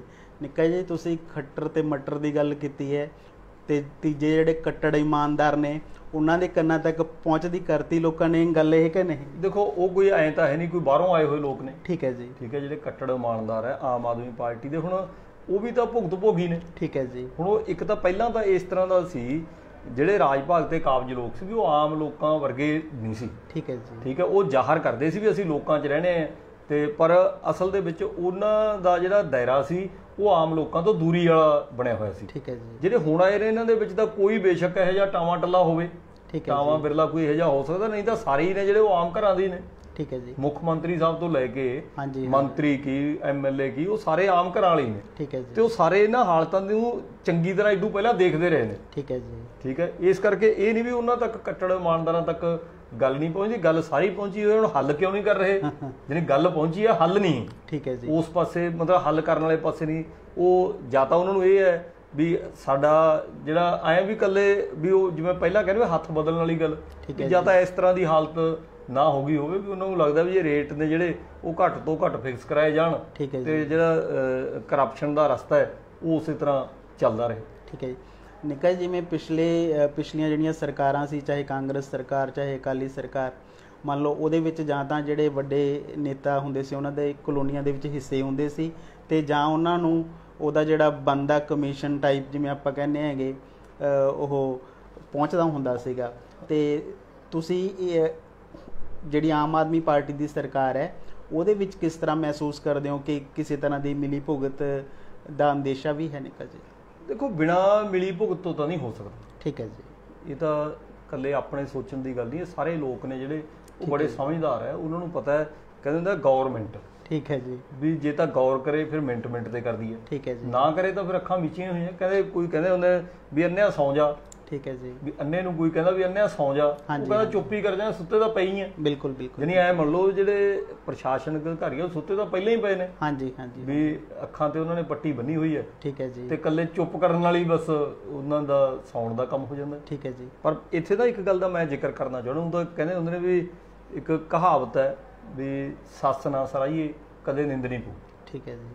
ਵੀ ਕਿਸੇ ਪ੍ਰਸ਼ਾਸਨ ਅਧਿਕਾਰੀ ਦੀ ਜੇ ਆਪਾਂ ਕੋਈ ਵਡਿਆਈ ਕਰਦੇ ਆ ਜਾਂ ਪੋਲੀਟੀਸ਼ੀਅਨ ਦੀ ਇਹ ਨਹੀਂ ਪਤਾ ਉਹ ਅੱਜ ਠੀਕ ਹੈ ਕੱਲ। ਠੀਕ ਨਾ ਵੀ ਰਹੇ। ਠੀਕ ਹੈ ਜੀ। ਪਰ ਮੈਂ ਪਿਛਲੇ ਦਿਨੀ ਮੈਨੂੰ ਤਹਿਸੀਲ ਵਾਲੇ ਪਾਸੇ ਜਾਣ ਦਾ ਮੌਕਾ ਮਿਲਿਆ। ਇੱਥੇ ਜਿਹੜੇ ਨਵੇਂ ਤਹਿਸੀਲਦਾਰ ਆਏ ਨੇ ਮੈਡਮ ਦਿਵਿਆ ਸਿੰਗਲਾ ਉਹਨਾਂ ਦਾ ਨਾਮ ਹੈ। ਠੀਕ ਹੈ ਜੀ। ਉਹਨਾਂ ਦੀਆਂ ਜਿਵੇਂ ਨਾ ਮੈਂ ਦੋ ਤਿੰਨ ਇਸ ਤਰ੍ਹਾਂ ਦੀਆਂ ਦੇਖੇ ਕਿ ਕਿਸੇ ਬਾਰੇ ਜਿਹੜੀ ਪਰਸੈਪਸ਼ਨ ਹੈ ਜਾਂ ਕਿਸੇ ਬਾਰੇ ਆਪਣਾ ਵਿਊ ਹੈ ਉਹ ਆਪਣੇ ਪੱਧਰ ਤੇ ਨਹੀਂ ਬਣਦਾ ਜੋ ਆਪਾਂ ਲੋਕਾਂ ਦੇ ਵਿੱਚ ਸੋਚਦੇ ਆਂ। ਜਾਣਦੇ ਆ ਸੁਣਦੇ ਆ ਕੋਈ ਗੱਲ ਗਰਾਊਂਡ ਲੈਵਲ ਤੇ ਤਾਂ ਕਾਫੀ ਗੱਲਾਂ ਸਾਹਮਣੇ ਆਉਂਦੀਆਂ ਨੇ। ਠੀਕ ਹੈ ਜੀ। ਮੈਂ ਉੱਥੇ ਤੁਰੇ ਫੇਰੇ ਦੇ ਵਿੱਚ ਮੈਨੂੰ ਇਹ ਪਤਾ ਲੱਗਿਆ ਵੀ ਕਹਿੰਦੇ ਜਿਹੜੇ ਦਿਵਿਆ ਸਿੰਘਲਾ ਤਹਿਸੀਲਦਾਰ ਸਾਹਿਬ ਨੇ ਵੀ ਉਹਨਾਂ ਕੋਲ ਕੋਈ ਬੰਦੇ ਸਿਫਾਰਿਸ਼ ਲਵਾ ਕੇ ਕੋਈ ਵਸੀਅਤ ਕਰਾਉਣ ਲਈ ਚਲੇ ਗਏ। ਠੀਕ ਹੈ ਜੀ। ਦੋ ਤਿੰਨ ਵਸੀਤਾਂ ਆ ਗਈਆਂ ਕਾਫੀ ਦਿਨਾਂ ਦੀ ਗੱਲ ਹੈ। ਤੇ ਉਹ ਕਹਿੰਦੇ ਵੀ ਉਹ ਮਤਲਬ ਉਹਨਾਂ ਦਾ ਚੰਗਾ ਪੱਖ ਕੀ ਰਿਹਾ? ਜਦੋਂ ਉਹਨਾਂ ਨੇ ਆਮ ਤੌਰ ਤੇ ਤਾਂ ਦੇਖੋ ਇਹ ਅਧਿਕਾਰੀ ਦਾ ਫਰਜ਼ ਬਣਦਾ ਹੈ ਜਦੋਂ ਕੋਈ ਇਸ ਤਰ੍ਹਾਂ ਦੀ ਵਸੀਅਤ ਕਰਦਾ ਜਾਂ ਹੋਰ ਹੈ ਉਹ ਗੱਲ ਦੀ ਪੁੱਛਗਿੱਛ ਕਰਦਾ ਠੀਕ ਹੈ ਜੀ। ਕਹਿੰਦੇ ਜਦੋਂ ਤਹਿਸੀਲਦਾਰ ਸਾਹਿਬ ਨੇ ਉਹ ਵਸੀਅਤ ਕਰਾਉਣ ਵਾਲੇ ਤਿੰਨ ਦੇ ਵਿੱਚੋਂ ਦੋ ਜਣਿਆਂ ਨੂੰ ਪੁੱਛਿਆ ਤਾਂ ਉਹਨਾਂ ਨੇ ਸਿਰ ਹਿਲਾਤਾ ਕਹਿੰਦੇ ਵੀ ਅਸੀਂ ਤਾਂ ਸਹਿਮਤ ਨਹੀਂ ਵਸੀਅਤ ਕਰਾਉਣ। ਠੀਕ ਹੈ ਜੀ। ਆਮ ਤੌਰ ਤੇ ਤਾਂ ਇਹ ਸੀ ਪੁੱਛਦਾ ਹੀ ਨਹੀਂ ਸੀ ਨਾ ਕੋਈ। ਹਾਂਜੀ ਹਾਂਜੀ। ਉਹਨਾਂ ਨੇ ਪੁੱਛ ਲਿਆ ਤੇ ਉਹ ਦੋ ਜਣੇ ਮੋੜ ਵੀ ਦਿੱਤੇ ਉਹਨਾਂ ਨੇ। ਠੀਕ ਹੈ ਜੀ। ਹਾਲਾਂਕਿ ਸਿਫਾਰਿਸ਼ ਦੇ ਬਾਵਜੂਦ ਵੀ ਕਹਿੰਦੇ ਸਿਫਾਰਿਸ਼ ਵੀ ਸੀ ਹੋ ਸਕਦਾ ਜਿਹੜੇ ਕੋਈ ਅਰਜੀ ਨਵੀਸ ਆ ਉਹਨਾਂ ਨੇ ਵੀ ਕੋਈ ਅੱਖ 'ਚ ਡੱਕਾ ਮਾਰਨ ਦੀ ਗੱਲ ਕੀਤੀ ਹੋਵੇ ਹੈ ਵੀ ਆਪਾਂ। ਚੁੱਪ ਚਪੀਤੇ ਜੇ ਕਰਾ ਲਿਆਉਣੇ ਆ। ਠੀਕ ਹੈ ਜੀ। ਪਰ ਉਹ ਤਹਿਸੀਲਦਾਰ ਸਾਹਿਬ ਨੇ ਬਰੰਗ ਮੋੜਤੇ ਠੀਕ ਹੈ ਜੀ। ਇਸੇ ਤਰ੍ਹਾਂ ਹੀ ਕੋਈ ਕਹਿੰਦੇ ਕਲੋਨਾਈਜ਼ਰ ਸੀ ਉਹ ਚਲਿਆ ਗਿਆ। ਠੀਕ ਹੈ ਜੀ। ਵੀ ਉਹਨਾਂ ਨੇ ਕਹਿੰਦੇ ਚਾਹ ਪਾਣੀ ਪਿਆਇਆ। ਹਾਂਜੀ ਹਾਂਜੀ। ਉਦੋਂ ਬਾਅਦ ਦੇ ਵਿੱਚ ਉਹਨਾਂ ਨੇ ਕੰਮ ਕਹਿਤਾ। ਠੀਕ ਹੈ ਜੀ। ਉਹ ਕਹਿੰਦੇ ਵੀ ਇਹ ਤਾਂ ਹੋਣ ਵਾਲਾ। ਹੈ। ਠੀਕ ਹੈ ਜੀ। ਮਤਲਬ ਕਈ ਇਸ ਤਰ੍ਹਾਂ ਦੀਆਂ ਗੱਲਾਂ ਮਤਲਬ ਸਾਹਮਣੇ ਆਉਂਦੀਆਂ ਨੇ। ਵੀ ਜਿਨ੍ਹਾਂ ਤੋਂ ਲੱਗਦਾ ਜਿਵੇਂ ਉੱਥੋਂ ਦੇ ਸਟਾਫ ਤੋਂ ਪਤਾ ਲੱਗਦਾ ਹੈ ਲੋਕਾਂ ਤੋਂ ਪਤਾ ਲੱਗਦਾ ਹੈ ਵੀ ਉਹਨਾਂ ਨੇ ਆਪਦੇ ਕੰਮ ਢੰਗ ਦੇ ਵਿੱਚ ਇਮਾਨਦਾਰੀ ਦਿਖਾਈ ਹੈ। ਜਦੋਂ ਕਿ ਇਦੋਂ ਪਹਿਲਾਂ ਜਿਹੜਾ ਅਫਸਰ ਸੀ ਆ ਜਿਹੜੇ ਮੈਂ ਪਹਿਲਾਂ ਜ਼ਿਕਰ ਕੀਤਾ ਇਹ ਉਹ ਅਫਸਰ ਵੇਲੇ ਦੀਆਂ ਗੱਲਾਂ ਇਹਨਾਂ ਤੋਂ ਪਹਿਲਾਂ ਦੀਆਂ। ਠੀਕ ਹੈ ਜੀ। ਇਹਨਾਂ ਦੇ ਸਮੇਂ ਅਜੇ ਤੱਕ ਹਾਂਜੀ ਹਾਂਜੀ। ਕੱਲ ਕੀ ਹੋਣਾ ਨਹੀਂ ਪਤਾ ਕਿਸੇ ਗੱਲ ਦਾ ਲੱਗਦਾ। ਪਰ ਅਜੇ ਤੱਕ ਇਸ ਤਰ੍ਹਾਂ ਦੀ ਕੋਈ ਗੱਲ ਸਾਹਮਣੇ ਨਹੀਂ ਆਈ ਵੀ ਖਾਸ ਤੌਰ ਤੇ ਮੈਂ ਜੇ ਤਹਿਸੀਲਦਾਰ ਸਾਹਿਬ ਦੀ ਗੱਲ ਕਰਦਾ ਠੀਕ ਹੈ ਜੀ। ਦਿਵਿਆ ਸਿੰਘਲਾ ਵੀ ਉਹਨਾਂ ਦਾ ਜਿਹੜਾ ਉੱਥੇ ਲੋਕਾਂ ਨਾਲ ਮੇਲ ਮਲਾਪ ਦਾ ਤੇ ਉਹਨਾਂ ਦੇ ਕੰਮ ਕਰਨ ਦਾ ਢੰਗ ਤਰੀਕਾ ਹੈ। ਉਹ ਜੀ। ਕਾਫੀ ਜਿਵੇਂ ਕਹਿੰਦੇ ਬਦਲੇ ਬਦਲੇ ਸੇ ਨਜ਼ਰ ਆਤੇ ਹੈ ਜਨਾਬ। ਹਾਂਜੀ। ਤਹਿਸੀਲਦਾਰ ਜਿਹੜਾ ਦਫ਼ਤਰ ਹੈ ਉੱਥੇ ਮਾਹੌਲ ਕਾਫੀ ਹਾਲਤ ਤੱਕ ਬਦਲਿਆ ਹੋਇਆ ਦਿਖ ਰਿਹਾ ਹੈ। ਹੁਣ ਉਹਦਾ ਆਉਣ ਵਾਲੇ ਦਿਨਾਂ 'ਚ ਅਸਰ ਵੀ ਕਈ ਵਾਰ ਇਹ ਹੁੰਦਾ ਵੀ ਨਵੇਂ ਅਫਸਰ ਦੀ ਆਉਣ ਦੀ ਗੱਲ ਹੁੰਦੀ ਹੈ ਪਰ ਉਹ ਤਾਂ ਇਹ ਕਹਿੰਦੇ ਹੁੰਦੇ ਜਿਹੜੇ ਚੌਲਾਂ ਦਾ ਜੇ ਕੜਾਹਾ ਭਰਿਆ ਹੋਵੇ ਨਾ ਮੰਗਤ ਜੀ ਵੀ ਸਾਰੇ ਚੌਲ ਕੋਈ ਦੱਬ ਕੇ ਨਹੀਂ ਦੇਖਦਾ ਠੀਕ ਹੈ ਜੀ। ਤੇ ਉਹ ਵਿੱਚੋਂ ਦੋ ਚੌਲ ਚੱਕ ਕੇ ਦੇਖ ਲੈਂਦਾ ਚਾਰ ਵੀ ਬਣ ਗਏ। ਹਾਂਜੀ ਹਾਂਜੀ। ਹੁਣ ਜੇ ਤਾਂ ਆਪਾਂ ਮੁੱਢਲੇ ਤੌਰ ਤੇ ਉਹਨਾਂ ਦੇ ਕੰਮਕਾਰ ਦੇ ਢੰਗ ਨੂੰ ਦੇਖੀਏ ਠੀਕ ਹੈ। ਤਾਂ ਹਾਲਤਾਂ ਇਸ ਤਰ੍ਹਾਂ ਦੀਆਂ ਨੇ ਵੀ ਮਤਲਬ ਕਾਫੀ ਠੀਕ ਤਰੀਕੇ ਨਾਲ ਇਮਾਨਦਾਰੀ ਤਰੀਕੇ ਨਾਲ ਕੰਮ ਫਿਲਹਾਲ ਚੱਲਦਾ ਨਜ਼ਰ ਆ ਰਿਹਾ। ਠੀਕ ਹੈ ਜੀ। ਠੀਕ ਹੈ? ਤੇ ਫਿਰ ਇਹ ਵੀ ਪਤਾ ਲੱਗਿਆ ਕਹਿੰਦੇ ਵੀ ਉਹਨਾਂ ਨੇ ਜਿਹੜੇ ਵਸੀਕਾ ਨਵੀਸ ਹੈ ਉਹਨਾਂ ਨੂੰ ਵੀ ਇਹ ਤਾੜਨਾ ਕਰਤੀ ਵੀ ਕਿਰਪਾ ਕਰਕੇ ਨਾਲ ਆਉਣ ਦੀ ਕੋਈ ਲੋੜ ਨਹੀਂ। ਠੀਕ ਹੈ ਜੀ। ਵੀ ਤੁਹਾਡਾ ਕੰਮ ਕੱਲਾ ਲਿਖ ਕੇ ਦੇਣਾ ਹੈ। ਵੀ ਉੱਥੇ ਪੇਸ਼ ਕਰਤੀ ਅਗਲੇ ਨੇ ਤੇ ਰਜਿਸਟਰੀ ਹੋ ਜੂ ਜੇ ਕਹਿੰਦੇ ਜਾਇਜ਼ ਆ ਹੋਊਗੀ ਜੇ ਨਹੀਂ ਜਾਇਜ਼ ਤਾਂ ਉਹ ਚਾਹੇ ਸਿਫਾਰਿਸ਼ ਕਰਾ ਲਓ ਚਾਹੇ ਕੋਈ ਬੰਦਾ ਪੈਸਿਆਂ ਦਾ ਕੋਈ ਦਲਾਲ ਤੁਰਿਆ ਫਿਰੇ ਠੀਕ ਹੈ ਫਿਰ ਉਹ ਕੰਮ ਹੋਣਾ ਨਹੀਂ। ਮਤਲਬ ਇਹ ਕਾਫੀ ਮਤਲਬ ਚੰਗਾ ਜਿਹੜਾ ਲੋਕਾਂ ਦੇ ਵਿੱਚ ਉੱਥੇ ਨਾਲੇ ਜਿਹੜੇ ਬੰਦੇ ਉੱਥੇ ਜਾਂਦੇ ਨੇ ਦੱਸਦੇ ਤਾਂ ਉਹੀ ਨੇ ਨਾ। ਬਿਲਕੁਲ ਬਿਲਕੁਲ। ਚਾਹੇ ਉਹ ਅਰਜੀ ਨਵੀਸ ਨੇ ਚਾਹੇ ਕੋਈ ਹੋਰ ਨੇ ਕੋਈ। ਪ੍ਰਾਪਰਟੀ ਡੀਲਰ ਜਿਹੜੇ ਖੁਸ਼ ਤਾਂ ਇਸ ਗੱਲ ਤੇ ਸਾਰੇ ਨੇ। ਠੀਕ ਹੈ ਜੀ। ਪਰ ਨਾਲ ਆਇਆ ਵੀ ਜਿਨ੍ਹਾਂ ਦੀਆਂ ਜੇਬਾਂ 'ਚ ਪੈਸੇ ਪੈਂਦੇ ਸੀ ਉਹਨਾਂ ਨੂੰ ਮਾੜੀ ਮੋਟੀ ਨਾਰਾਜ਼ਗੀ ਵੀ ਹੋ ਸਕਦੀ ਠੀਕ ਹੈ ਜੀ। ਅ, ਨਿੱਕਾ ਜੀ ਤੁਸੀਂ ਕੀ ਸਮਝਦੇ ਹੋ ਕਿ ਜਿਵੇਂ ਜਿਹੜਾ ਵੀ ਇਹ ਕਲੈਕਟਰ ਰੇਟ ਨਿਰਧਾਰਿਤ ਕੀਤਾ ਜਾਂਦਾ ਹੈਗਾ ਉਹ ਪਹਿਲਾਂ ਗਰਾਊਂਡ ਦੇ ਉੱਪਰ ਜਾਂਦੇ ਹੋਣਗੇ? ਮੰਨ ਲਓ ਵੱਖ-ਵੱਖ ਏਰੀਆ ਦੇ ਵਿੱਚ ਜਿਹੜੇ ਡਿਪਟੀ ਕਮਿਸ਼ਨਰ ਆਫਿਸ ਦੇ ਮੁਲਾਜ਼ਮ ਨੇ ਮੰਨ ਲਓ ਸਰਵੇ ਕਰਦੇ ਹੋਣਗੇ ਕਿ ਕਿੱਥੇ ਕੀ ਰੇਟ ਹੈ ਮੰਨ ਲਓ। ਉਹ ਇਹੀ ਕਾਰਵਾਈ ਲਿਖਦੇ ਹੋਣਗੇ ਨਾ ਕਿ ਅਸੀਂ ਇਹ ਪਤਾ ਕੀਤਾ ਇੱਥੇ ਇਹ ਰੇਟ ਹੈ ਇੱਥੇ ਇਹ ਰੇਟ ਹੈ ਮੰਨ ਲਓ। ਤਾਂ ਤੁਸੀਂ ਕੀ ਸਮਝਦੇ ਹੋ ਕਿ ਇਹਨੂੰ ਰਿਵਿਊ ਕਰਨਾ ਚਾਹੀਦਾ ਇਸ ਦੇ ਉੱਪਰ? ਦੇਖੋ, ਮੈਨੂੰ ਲੱਗਦਾ ਵੈਸੇ ਤਾਂ ਐ ਨਾ ਵੀ ਰਿਵਿਊ ਕੀ ਹੈ, ਸਰਕਾਰ ਜਿਵੇਂ ਪ੍ਰੈਸ਼ਰ ਦੇ ਥੱਲੇ ਚੱਲਦੀ ਹੈ। ਠੀਕ ਹੈ ਜੀ। ਜਿਵੇਂ ਆਮ ਤੌਰ ਤੇ ਦੇਖੋ ਇਹਨੂੰ ਲੋਕਤੰਤਰ ਦੀ ਖੂਬਸੂਰਤੀ ਇਹੀ ਕਿਹਾ ਜਾਂਦਾ ਵੀ ਲੋਕਾਂ ਦੀ ਗੱਲ ਸੁਣੀ ਜਾਵੇ। ਠੀਕ ਹੈ ਜੀ। ਹੁਣ ਜੇ ਚੋਰ ਇਕੱਠੇ ਹੋ ਜਾਣ ਜੀ ਉਹਦਾ ਤਾਂ ਕੋਈ ਇਲਾਜ ਨਹੀਂ ਚੋਰ ਵੀ ਕਹਿੰਦੇ। ਦੇਖੋ ਜੀ ਸਰਕਾਰ ਦੇ ਅਸੀਂ ਤਾਂ ਧਰਨੇ ਮੁਜ਼ਾਹਰੇ ਕਰਾਂਗੇ ਚੋਰਾਂ ਦੀ ਗਿਣਤੀ ਕਿਹੜਾ ਘੱਟ ਹੈ? ਹਾਂਜੀ ਹਾਂਜੀ ਠੀਕ ਹੈ। ਜੇ ਉਹ ਇਕੱਠੇ ਇਸ ਗੱਲ ਲਈ ਹੋ ਜਾਣ ਵੀ ਸਰਕਾਰ ਪਰਚਾ ਦਰਜ ਕਰਨਾ ਬੰਦ ਕਰੇ ਚੋਰਾਂ ਤੇ। ਠੀਕ ਹੈ ਜੀ। ਹੁਣ ਜੇ ਸਰਕਾਰ ਐਂ ਝੁਕਦੀ ਰਹੀ ਹਾਂਜੀ ਹਾਂਜੀ। ਬਿਨਾਂ ਗੁਣ ਦੋਸ਼ ਦੇਖੇ ਤੋਂ ਬਿਲਕੁਲ ਤੇ ਫਿਰ ਕੱਲ ਨੂੰ ਚੋਰਾਂ ਦੇ ਮੂਹਰੇ ਤਾਂ ਡੰਡੌਤ ਲੱਗ ਜੂ ਕਰਨ ਸਰਕਾਰ। ਹਾਂਜੀ ਹਾਂਜੀ ਹਾਂਜੀ। ਹੁਣ ਜਿਹੜਾ ਇਸ ਤਰ੍ਹਾਂ ਦਾ ਮਾਹੌਲ ਚੱਲ ਰਿਹਾ ਹੈ ਵੀ ਮੈਨੂੰ ਲੱਗ ਰਿਹਾ ਵੀ ਉਹ ਜਿਹੜਾ ਐ ਮੰਨ ਲਓ ਵੀ ਕਿ ਜਿਸ ਤਰ੍ਹਾਂ ਦੇ ਕੋਈ ਜਥੇਬੰਦੀਆਂ ਬਣੀਆਂ ਹੁੰਦੀਆਂ ਹਰ ਇੱਕ ਡਿਪਾਰਟਮੈਂਟ ਦੇ ਵਿੱਚ ਬਣੀਆਂ ਹੋਈਆਂ ਜਥੇਬੰਦੀਆਂ ਹਾਂਜੀ ਹਾਂਜੀ। ਤੇ ਫਿਰ ਤਾਂ ਕੋਈ ਵੀ ਇਹ ਕੰਮ ਨੂੰ ਚਾਹੁੰਦਾ ਨਹੀਂ ਨਾ। ਹਾਂਜੀ ਹਾਂਜੀ। ਵੀ ਦੇਖੋ ਇਮਾਨਦਾਰੀ ਤਾਂ ਸਾਰੇ ਚਾਹੁੰਦੇ ਨੇ। ਬਿਲਕੁਲ ਬਿਲਕੁਲ। ਪਰ ਉਹ ਅਗਲਾ ਕਹਿੰਦਾ ਵੀ ਇਮਾਨਦਾਰ ਬਾਕੀ ਲੋਕ ਸਾਰੇ ਹੁਣ ਮੈਤੋਂ ਬਿਨਾਂ। ਠੀਕ ਹੈ ਜੀ। ਯਾਨੀ ਇਸ ਤਰ੍ਹਾਂ ਦਾ ਮਾਹੌਲ ਬਣਿਆ ਹੋਇਆ। ਜਿਹੜਾ ਤੁਸੀਂ ਰੇਟਾਂ ਦੀ ਗੱਲ ਕਰਦੇ ਹੋ ਪਤਾ ਤਾਂ ਆਪਾਂ ਪਹਿਲਾਂ ਵੀ ਜ਼ਿਕਰ ਕੀਤਾ ਉਹ ਪਤਾ ਤਾਂ ਕਰ ਹੀ ਸਕਦੇ ਨੇ। ਠੀਕ ਹੈ ਜੀ। ਹੁਣ ਉਹਨਾਂ ਦਾ ਜਿਹੜੇ ਜਿਸ ਤਰ੍ਹਾਂ ਕੋਈ ਮੰਨ ਲਓ ਜੇ ਖਬਰਾਂ ਲੱਗ ਰਹੀਆਂ ਕੀ ਉਹ ਪ੍ਰਸ਼ਾਸਨਿਕ ਅਧਿਕਾਰੀਆਂ ਤੱਕ ਪਹੁੰਚਦੀਆਂ ਨਹੀਂ? ਬਿਲਕੁਲ ਬਿਲਕੁਲ। ਪਹੁੰਚਦੀਆਂ ਤਾਂ ਹੈਗੀਆਂ ਨੇ। ਹਾਂਜੀ ਹੁਣ ਹਾਂਜੀ ਤਾਂ ਕਹਿੰਦੇ ਗਵਰਨਮੈਂਟ ਹੈ ਜਿਹੜੀ ਗੌਰ ਤਾਂ ਮਿੰਟ ਮਿੰਟ ਤੇ ਕਰਦੀ ਹੈ। ਹਾਂਜੀ ਹੁਣ ਹਾਂਜੀ। ਚਾਹੇ ਅੱਜ ਸੋਸ਼ਲ ਮੀਡੀਆ ਦਾ ਯੁੱਗ ਹੈ ਕਈ ਇਹੋ ਜਿਹੀਆਂ ਜਿਵੇਂ ਕੋਈ ਵੀਡੀਓ ਵਾਇਰਲ ਹੋ ਗਈ ਹੋਰ ਜਦੋਂ ਕਿਤੇ ਕੋਈ ਸੋਸ਼ਲ ਮੀਡੀਆ ਤੇ ਵੀ ਕੋਈ ਗੱਲ ਆਉਂਦੀ ਹੈ ਨਾ ਕਿ ਬਾਕੀ ਤਾਂ ਹੁਣ ਮੀਡੀਆ ਦੇ ਇੱਕ ਉਹ ਲਿਮਿਟੇਸ਼ਨ ਹੈ ਉਹਨੇ ਕਦੋਂ ਜੇ ਨਿਊਜ਼ਪੇਪਰ ਨੇ ਉਹਨਾਂ ਨੇ ਦੂਜੇ ਦਿਨ ਛਪਣਾ ਹੈ। ਹਾਂਜੀ ਉਦੋਂ ਪਹਿਲਾਂ ਹੀ ਕਈ ਤਾਂ ਇਹ ਹੁੰਦਾ ਵੀ ਸੋਸ਼ਲ ਮੀਡੀਆ ਤੇ ਗੱਲ ਆਉਣ ਤੋਂ ਬਾਅਦ ਹੀ ਐਕਸ਼ਨ ਬੜਾ ਛੇਤੀ ਹੁੰਦਾ। ਬਿਲਕੁਲ ਬਿਲਕੁਲ। ਤੇ ਕਹਿਣ ਦਾ ਮਤਲਬ ਕੀ ਹੈ ਕਿਤੇ ਨਾ ਕਿਤੇ ਸਰਕਾਰੀ ਖਜ਼ਾਨੇ ਨੂੰ ਜਿਹੜਾ ਐਕਸਚੈਕਰ ਹੈ ਉਹਨੂੰ ਵੱਡੇ ਪੱਧਰ ਤੇ ਨੁਕਸਾਨ ਪਹੁੰਚਾਇਆ ਜਾ ਰਿਹਾ ਬਿਲਕੁਲ ਜੋ- ਦੇਖੋ ਮੈਂ ਸਮਝਦਾ ਜਾਂ ਜਿਹੜਾ ਡਾਕੂਮੈਂਟ ਹੈ ਆ ਇਹ ਪੇਜ ਨੇ ਕਾਫੀ ਤੇ ਇਹ ਪੇਜਾਂ ਦੇ ਅਨੁਸਾਰ ਤਾਂ ਮੈਨੂੰ ਲੱਗਦਾ ਹੈ, ਇਹ ਸਾਫ਼ ਲੱਗਦਾ ਹੀ ਹੈ ਜੋ ਰੇਟਾਂ ਦੇ ਬੰਦੀ ਨਿਗਾਹ ਮਾਰੀ ਦੀ ਹੈ ਵੀ ਪ੍ਰਤੀ ਗਜ ਦੇ ਹਿਸਾਬ ਨਾਲ ਜਿਹੜਾ ਰੇਟ ਹੈ ਉਹ ਤੈਅ ਕੀਤੇ ਗਏ ਨੇ। ਤੇ ਉਹ ਆਮ ਜਿਹੜੇ ਰੇਟ ਨੇ ਜਿਹੜੇ ਲੋਕਾਂ ਤੋਂ ਵਸੂਲੇ ਜਾ ਰਹੇ ਨੇ ਠੀਕ ਹੈ ਖਾਸ। ਤੌਰ ਤੇ ਕਲੋਨਾਈਜ਼ਰਾਂ ਵੱਲੋਂ ਉਹ ਰੇਟ ਕਲੈਕਟਰ ਰੇਟ ਦੇ ਨਾਲ ਮੈਚ ਕਰਦੇ ਰੇਟ ਨਹੀਂ। ਹੁਣ ਕਿਹੜੇ ਤਰੀਕੇ ਨਾਲ ਉਹਨਾਂ ਨੇ ਨਜੂਮੀਆਂ ਵਾਂਗੂ ਬੁੱਝ ਲਏ ਵੀ ਕਿੱਥੇ। ਕਿੱਥੇ ਹੈ? ਉਹ ਤਾਂ ਇੱਕ ਜਿਵੇਂ ਮੈਂ ਪਹਿਲਾਂ ਕਹਿੰਦਾ ਉਹ ਸੌਦੇ ਵਾਲੀ ਗੱਲ ਹੀ ਹੈ। ਠੀਕ ਹੈ ਜੀ। ਵੀ ਇਹ ਰੇਟ ਜਿਹੜੇ ਫਿਕਸ ਕਰ ਦਿੱਤੇ ਗਏ ਮੈਨੂੰ ਲੱਗਦਾ ਵੀ ਜੇ ਸਰਕਾਰ ਜਿੱਥੇ ਰੈਵਨਿਊ ਵਧਾਉਣ ਦੀ ਗੱਲ ਕਰਦੀ ਹੈ ਜੀ। ਤਾਂ ਦੇਖੋ ਮੈਂ ਕਹਿੰਦਾ ਉਹਨਾਂ ਨੂੰ ਜੇ ਇੱਕੋ ਹੀ ਗੱਲ ਨਾ ਕਿਤੇ ਪ੍ਰਸ਼ਾਸਨ ਅਧਿਕਾਰੀ ਕੋਈ ਵੀ ਹਾਂਜੀ ਇੱਕ ਸਖਤੀ ਨਾਲ ਕੱਲੀ ਇੰਨੀ ਗੱਲ ਕਹਿ ਦੇ ਵੀ ਜਿਹੜਾ ਰੇਟ ਆਪਾਂ ਫਿਕਸ ਕਰਨਾ ਹੈ ਜੇ ਕੋਈ ਬੰਦਾ ਲੈਣਾ ਚਾਹੇ ਜਿਵੇਂ ਕਹਿੰਦੇ ਵੀ ਸਰਕਾਰ ਕੋਲੇ ਪੈਸੇ ਭਰ ਦਿਓ ਹਾਂਜੀ ਹਾਂ। ਵੀ ਇਹ ਰੇਟ ਤੇ ਤੁਸੀਂ ਦੇਣ ਦੇ ਪਾਬੰਦ ਹੋਵੋਗੇ। ਠੀਕ ਹੈ ਜੀ। ਤੇ ਮੈਨੂੰ ਲੱਗਦਾ ਨਾਲੋਂ ਨਾਲ ਰੇਟ ਨੂੰ ਉਹੀ ਕਹਿਣਗੇ ਨਾ ਨਾ ਇਹ ਨਹੀਂ ਹੋ ਸਕਦੀ ਗੱਲ। ਠੀਕ ਹੈ ਜੀ। ਇਦੋਂ ਤਾਂ ਵਧਾਓ। ਠੀਕ ਫਿਰ ਉਹ ਦਬਾ ਦੋ ਫਿਰ ਵੱਧ ਤੋਂ ਵੱਧ ਲਿਖਾਉਣ ਵਾਲੇ ਚ ਹੋ ਜਾਣਗੇ। ਬਿਲਕੁਲ ਬਿਲਕੁਲ ਬਿਲਕੁਲ। ਵੀ ਜੇ ਕਿਤੇ ਸਰਕਾਰ ਦੇ ਥਰੂ ਕਿਤੇ ਐ ਹੋ ਜਾਣਾ ਵੀ ਲੋਕ ਜੇ ਉਹ ਮੰਨ ਲਓ ਹਾਂ। ਤੁਸੀਂ ਕੋਈ ਚੀਜ਼ ਖਰੀਦਣੀ ਚਾਹੁੰਦੇ ਹੋ। ਹਾਂਜੀ ਹਾਂ। ਹੁਣ ਜਿਹੜਾ ਕਲੈਕਟਰ ਰੇਟ ਹੈ ਉਹਦਾ ਮਤਲਬ ਤਾਂ ਇਹੀ ਹੋਣਾ ਚਾਹੀਦਾ ਨਾ ਵੀ ਜਿਵੇਂ ਹਾਂ। ਕੰਟਰੋਲ ਕਰਤਾ ਰੇਟ ਠੀਕ ਹੈ ਜੀ। ਠੀਕ ਹੈ? ਹੁਣ ਜੇ ਤੁਸੀਂ ਲੈਣਾ ਚਾਹੋ ਤੁਸੀਂ ਅਹ, ਪ੍ਰਸ਼ਾਸਨਿਕ ਅਧਿਕਾਰੀ ਨੂੰ ਅਰਜੀ ਦੇ ਦਿਓ ਮੈਂ ਫਲਾਨੀ ਕਲੋਨੀ ਦੇ ਵਿੱਚ ਪਲਾਟ ਲੈਣਾ ਚਾਹੁੰਦਾ ਹੈ ਤੇ ਉੱਥੇ ਆਹ ਰੇਟ ਹੈ। ਤੁਸੀਂ ਜਾਰੀ ਕੀਤਾ ਹੋਇਆ। ਠੀਕ ਹੈ ਜੀ। ਵੀ ਮੈਂ ਇਸ ਰੇਟ ਤੇ ਲੈਣਾ ਚਾਹੁੰਦਾ ਮੈਨੂੰ ਲੱਗਦਾ ਵੀ ਕੋਈ ਕਿਸੇ ਕਲੋਨਾਈਜ਼ਰ ਉਹ ਤਾਂ ਸਾਰੇ ਕਹਿਣਗੇ ਸਾਡੇ ਵਿਕ ਗਏ। ਠੀਕ ਹੈ ਹੁਣ ਉਹਨਾਂ ਕੋਲੇ ਤਾਂ ਐਂ ਵੀ ਵਿਕ ਗਏ ਝੂਠ ਨਹੀਂ ਨਾ ਬੋਲ ਸਕਦੇ। ਕਿਉਂ ਰਜਿਸਟਰੀਆਂ ਵੀ ਕਿਤੇ ਹੋਈਆਂ ਹੋਣਗੀਆਂ? ਬਿਲਕੁਲ ਬਿਲਕੁਲ। ਹੁਣ ਬਹੁਤੀਆਂ ਤਾਂ ਐ ਵੀ ਕਹਿੰਦੇ ਇੱਕ ਮੈਂ ਆਪਣੇ ਇੱਕ ਨਾ ਭਗਵੰਤ ਰਾਏ ਨੇ। ਕਾਫੀ ਜਾਗਰੂਕ ਨਾਗਰਿਕ ਕਹਿ ਸਕਦੇ ਆ ਆਪਾਂ ਨੂੰ। ਹਾਂਜੀ ਬੜੇ ਸਮਾਜਿਕ ਸੋਸ਼ਲ ਐਕਟਿਵਿਸਟ ਨੇ। ਦੱਦਾ ਹੋਰ ਭਗਵੰਤ ਰਾਏ। ਹਾਂ ਤੇ ਉਹਨਾਂ ਨੇ ਇੱਕ ਗੱਲ ਮੈਨੂੰ ਸੁਣਾਈ। ਕਹਿੰਦੇ ਵੀ ਜਿਹੜੇ ਜਿਹੜੇ ਕਲੋਨਾਈਜ਼ਰ ਨੇ ਇਹਨਾਂ ਇੱਕ ਅਲਾਟਮੈਂਟ ਲੈਟਰ ਦਿੰਦੇ ਨੇ। ਠੀਕ ਹੈ ਉਹ ਜੀ ਬੜੀ ਗੌਰ ਨਾਲ ਦੇਖਦੇ ਨੇ ਆਮ ਹੋ ਸਕਦਾ ਉਹਨਾਂ ਆਪਾਂ ਵੀ ਬਰੀਕੀ ਨਾਲ ਨਾ ਦੇਖਦੇ ਹੋਈਏ। ਬਿਲਕੁਲ ਜੀ। ਉਹ ਕਹਿੰਦੇ ਰਜਿਸਟਰੀਆਂ ਦੀ ਬਜਾਏ ਨਾ ਅਲਾਟਮੈਂਟ ਲੈਟਰ ਸ਼ੁਰੂ ਕਰ ਦਿੰਦੇ ਨੇ। ਹਾਲਾਂਕਿ ਜਿਹੜੇ ਤਾਂ ਜਿਵੇਂ ਪੁੱਡਾ ਹੈ ਜਾਂ ਹੋਰ ਹੈ ਇਹ ਤਾਂ ਦਿੰਦੇ ਨੇ। ਠੀਕ ਹੈ ਜੀ। ਵੀ ਇਹ ਦੇ ਸਕਦੇ ਨੇ ਇਹ ਗੱਲ ਹੀ ਸਮਰੱਥ ਨੇ। ਜਿਵੇਂ ਨਗਰ ਸੁਧਾਰ ਟਰਸਟ ਹੈ ਉਹ ਅਲਾਟਮੈਂਟ ਪੱਤਰ ਦੇ ਦਿੰਦੇ ਨੇ। ਬਿਲਕੁਲ ਜੀ। ਠੀਕ ਹੈ ਉਦੋਂ ਬਾਅਦ ਰਜਿਸਟਰੀ ਹੁੰਦੀ ਹੈ। ਹਾਂਜੀ ਪਰ ਕਹਿੰਦੇ ਵੀ ਜਿਹੜੇ ਕਲੋਨਾਈਜ਼ਰ ਨਾ ਉਹ ਵੀ ਚੁੱਪ ਕੇ ਜੇ ਅਲਾਟਮੈਂਟ ਲੈਟਰ ਦੇ ਦਿੰਦੇ ਨੇ ਜਿਹਨੀ ਰਜਿਸਟਰੀਆਂ 'ਚ ਕਿੱਥੇ ਤਾਂ ਇੱਕ ਪਲਾਟ ਜੇ ਚਾਰ ਵਾਰ ਵਿਕ ਗਿਆ ਠੀਕ ਹੈ ਜੀ। ਜਿਹਨੀ ਉਹ ਬਿਨਾ ਐ ਮੰਨ ਲਓ ਕੱਲਾ ਵਾ ਪਲਾਟ ਦਾ ਨੰਬਰ ਪਤਾ ਵੀ ਇੰਨੇ ਨੰਬਰ ਪਲਾਟ ਹੈ। ਠੀਕ ਹੈ ਜੀ। ਨਾ ਤਾਂ ਕਿਸੇ ਨੇ ਦੇਖਿਆ ਉਹ ਠੀਕ ਹੈ ਨਾ ਮੂਰਲਾ ਦੇਖਦਾ। ਠੀਕ ਹੈ ਜੀ। ਉਹ ਕੱਲਾ ਪਲਾਟ ਦਾ ਨੰਬਰ ਪਾ ਕੇ ਗਾਹਾਂ ਦੀ ਗਾਹਾਂ ਹੋਈ ਜਾਂਦਾ। ਨਹੀਂ ਸਰਕਾਰ ਕੋਲੇ ਚਲੋ ਚਾਰ ਵਾਰ ਪੈਸੇ ਤਾਂ ਪੈਸੇ ਜਾਣ ਉਹਨਾਂ ਕੋਲੇ। ਬਿਲਕੁਲ ਬਿਲਕੁਲ। ਵੀ ਇਸ ਤਰ੍ਹਾਂ ਦੀਆਂ ਜਿਹੜੀਆਂ ਬੇਨਿਯਮੀਆਂ ਨੇ ਪ੍ਰਸ਼ਾਸਨ ਨੂੰ ਇਹੋ ਜਿਹੇ ਪਾਸੇ ਧਿਆਨ ਦੇਣ ਦੀ ਲੋੜ ਹੈ। ਤੇ ਮੈਨੂੰ ਲੱਗਦਾ ਲੋਕਾਂ ਦੇ ਵੱਡੇ ਹਿੱਤਾਂ ਲਈ। ਠੀਕ ਹੈ ਜੀ। ਪ੍ਰਸ਼ਾਸਨ ਨੂੰ ਜੇ ਚਾਰ ਬੰਦੇ ਕੋਈ ਨਾਰਾਜ਼ ਹੁੰਦੇ ਵੀ ਨੇ ਉਹ ਕਰ ਦੇਣੇ ਚਾਹੀਦੇ ਨੇ। ਬਿਲਕੁਲ ਬਿਲਕੁਲ ਜਿੱਥੇ ਦੇਖੋ ਪ੍ਰਸ਼ਾਸਨਿਕ ਅਧਿਕਾਰੀਆਂ ਨੇ ਇਹ ਇਹਦੇ ਨਾਲ ਫਾਇਦਾ ਤਾਂ ਸਰਕਾਰ ਦਾ ਕਰਨਾ ਨਾ। ਹਾਂਜੀ ਹਾਂਜੀ। ਜਿਹੜਾ ਸਰਕਾਰ ਕੋਲੇ ਖਜ਼ਾਨੇ 'ਚ ਪੈਸਾ ਜਿਹੜਾ ਉਹ ਲੋਕਾਂ ਤੇ ਲੱਗਣਾ ਫਿਰ ਆ ਜਿਹੜੀ ਰੋਜ਼ ਦੀ ਦਹਾਈ ਪੈਂਦੀ ਹੈ ਹਾਂਜੀ ਵੀ ਖਜ਼ਾਨਾ ਖਾਲੀ ਹੈ ਜਾਂ ਭਗਵੰਤ ਮਾਨ ਸਾਹਿਬ ਆਪ ਕਹਿੰਦੇ ਹੁੰਦੇ ਕਿ ਤਾਂ ਖਜ਼ਾਨਾ ਕਾਹਨੂੰ ਖਾਲੀ ਹੁੰਦਾ ਪੀਪਾ ਹੀ ਕਹਿ ਦੇਣਾ ਚਾਹੀਦਾ। ਬਿਲਕੁਲ ਜੀ ਵੀ ਹੁਣ ਪੀਪੇ ਨੂੰ ਜੇ ਭਰਨ ਲੱਗ ਜਾਣ ਖਜ਼ਾਨਾ ਬਣਾਉਣ ਵਾਲੇ ਪਾਸੇ ਚੱਲ ਪੈਣ। ਮੈਨੂੰ ਲੱਗਦਾ ਵੀ ਕੱਲਾ ਇੰਨੀਆਂ ਗੱਲਾਂ 'ਚ ਹੀ ਖਜ਼ਾਨਾ ਤਾਂ ਭਰਪੂਰ ਹੋ ਸਕਦੇ ਨੇ। ਬਿਲਕੁਲ ਬਿਲਕੁਲ। ਨਿੱਕਾ ਜਿਵੇਂ ਪਿੱਛੇ ਮੈਂ ਪੜਿਆ ਸੀ ਵੀ ਆਈਏਐਸ ਆਫੀਸਰ ਨੂੰ ਮੰਨ ਲਓ ਨਾ ਸਟੇਟ ਗਵਰਨਮੈਂਟ ਮੰਨ ਲਓ ਉਹਨਾਂ ਨੂੰ ਟਰਮੀਨੇਟ ਕਰ ਸਕਦੀ ਹੈਗੀ। ਤੇ ਕਹਿਣ ਦਾ ਮਤਲਬ ਕੀ ਹੈ ਵੀ ਕੋਲੋਨਾਈਜ਼ਰਾਂ ਮੂਰੇ ਜਿਵੇਂ ਕਠਪੁਤਲੀਆਂ ਵਾਂਗੂ ਨਹੀਂ ਨੱਚਦੇ ਹੁੰਦੇਗੇ ਇਹ ਅਫਸਰਾਂ ਹੀ ਨੱਚਦੇ ਅਸਲ ਦੇ ਵਿੱਚ ਨਾ ਜੀ ਮੈਨੂੰ ਲੱਗਦਾ ਹੈ ਪੋਲੀਟੀਸ਼ੀਅਨਾਂ ਦੀ ਤੇ ਜਿਹੜੇ ਪ੍ਰਸ਼ਾਸਨ ਅਧਿਕਾਰੀ ਹੈ ਉਹਨਾਂ ਦੀ ਤੇ ਆਪਣੇ ਵਾਲਾ ਭਾਈਚਾਰਾ ਕਿਹੜਾ ਉਹਨਾਂ ਤੋਂ ਅੱਡ ਹੋ ਸਕਦਾ ਠੀਕ ਹੈ ਉਹ ਫੂਡ ਪਾਈਪ ਨੇ। ਠੀਕ ਹੈ ਜੀ।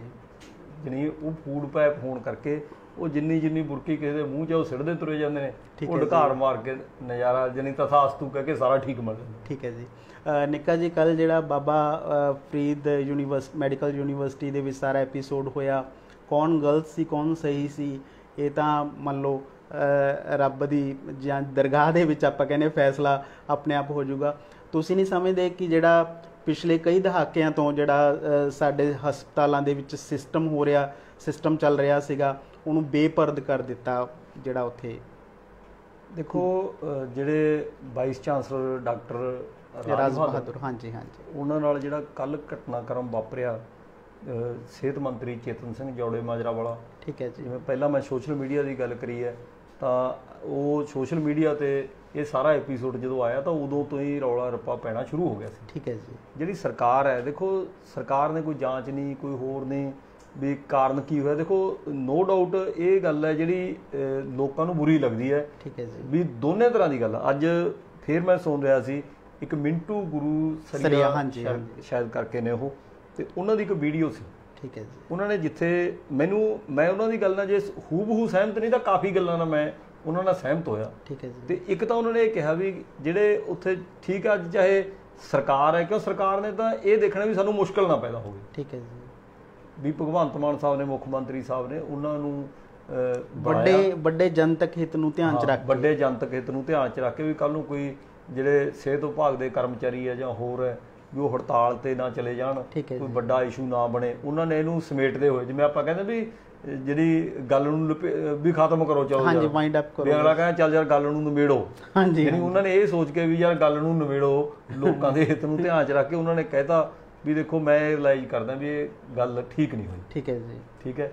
ਤੇ ਦੱਸਿਆ ਇਹ ਵੀ ਜਾ ਰਿਹਾ ਵੀ ਜਿਹੜੇ ਮੰਤਰੀ ਸਾਹਿਬ ਨੇ ਚੇਤਨ ਸਿੰਘ ਜੌੜੇ ਮਾਜਰਾ ਉਹਨਾਂ ਨਾਲ ਵੀ ਉਹਨਾਂ ਨੇ ਮਤਲਬ ਗੱਲਬਾਤ ਕੀਤੀ। ਠੀਕ ਹੈ ਜੀ। ਤੇ ਜਿਹੜੇ ਬੀਸੀ ਨੇ ਉਹਨਾਂ ਨੂੰ ਬੁਲਾ ਕੇ ਵੀ ਗੱਲਬਾਤ ਕੀਤੀ ਹੈ ਵੀ ਮਾਮਲਾ ਉਹਨਾਂ ਨੂੰ ਲੱਗਿਆ ਜਿਹਦੇ ਕਰਕੇ ਵੀ ਪੈਚ ਅਪ ਦੀ ਵਾਲੇ ਪਾਸੇ ਚੱਲਦੀ ਹੈ ਗੱਲ ਵੀ ਜੇ ਮੁੱਖ। ਮੰਤਰੀ ਨੇ ਮਾਫੀ ਮੰਗ ਲਈ ਤਾਂ ਗੱਲ ਠੀਕ ਹੈ। ਪਰ ਦੂਜੇ ਪਾਸੇ ਨਾ ਮੈਂ ਅੱਜ ਕਾਫੀ ਜਿਹੜੇ ਹੈਲਥ ਵਿਭਾਗ ਦੇ ਮੁਲਾਜ਼ਮ ਨੇ ਠੀਕ ਹੈ ਅਧਿਕਾਰੀ ਨੇ ਮੈਂ ਉਹਨਾਂ ਨਾਲ ਕਾਫੀ ਨਾਲ ਗੱਲ ਕੀਤੀ।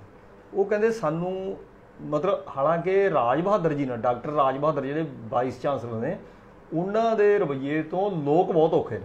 ਠੀਕ ਹੈ ਜੀ। ਜਿਵੇਂ ਮੈਂ ਮਿੰਟੂ ਗੁਰੂ ਸਰੀਆ ਦਾ ਜ਼ਿਕਰ ਕੀਤਾ ਉਹਨਾਂ ਨੇ ਵੀ ਕਾਫੀ ਉਦਾਹਰਨਾਂ ਦਿੱਤੀਆਂ।